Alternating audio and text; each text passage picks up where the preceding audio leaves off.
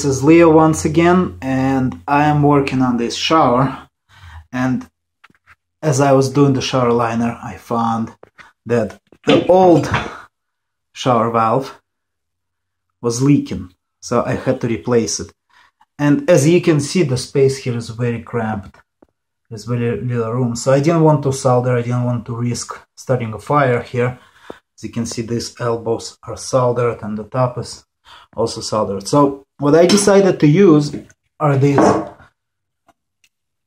British made brass push fittings. So basically you push it onto a copper pipe or a PEX tubing and you can connect both or either. Um, as you can see here's the packaging for this. It's lead free. It's nice and super simple to use. Once you put it on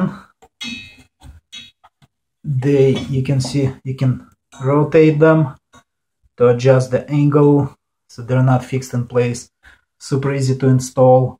Just push it on and makes the job much safer much easier. And there you go a quick look at Blue Hawk push fittings alright I'll see you on our video channel later. This was Leo with remodelingcalculator.org see